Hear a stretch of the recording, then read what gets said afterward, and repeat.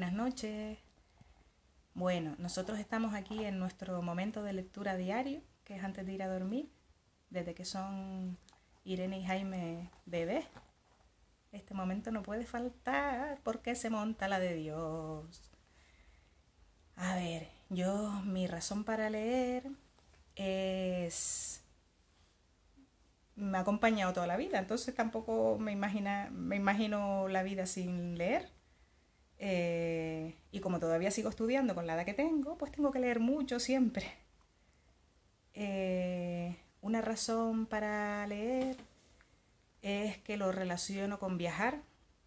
Siempre que viajo me llevo libros en el avión que me acompañan durante el viaje, en las vacaciones, me transporta a otros sitios. Eh, mi experiencia más intensa con la lectura en los últimos años fue con este señor, mi libro electrónico.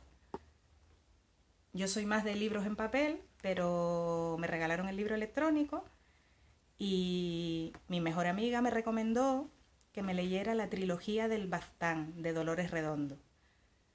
Y hace dos veranos Irene me preguntaba que por qué no dejaba de leer, que no le hacía caso. Y es que estaba absolutamente enganchada. Eran tres libros, eh, por eso se llama trilogía, y no podía parar de leer hasta que lo terminé. Así que lo recomiendo si quieren una lectura entretenida. Y ahora los nenes que ya están cansaditos les van a enseñar los libros que a ellos les gustan. Irene, ¿cómo se llama el tuyo? ¿Los diarios? Los diarios de cereza. ¿Y el de Jaime? A ver, ¿cuál elegiste? Enséñalo, para que lo vean. Enséñalo, no se ve, levántalo un poquito más. ¿Cómo se llama? Castillos y... ¿Y? Caballeros, castillos y caballeros. Estos son algunos, porque aquí hay libros para aburrirse.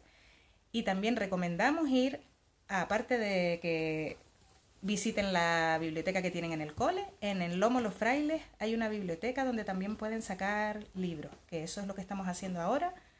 Y así nos ahorramos un dinerito y allí hay muchos libros para elegir. Y la chica me dijo que se pueden hacer peticiones. Si hay algún libro que quieran, también lo pueden pedir y se lo llevan allí.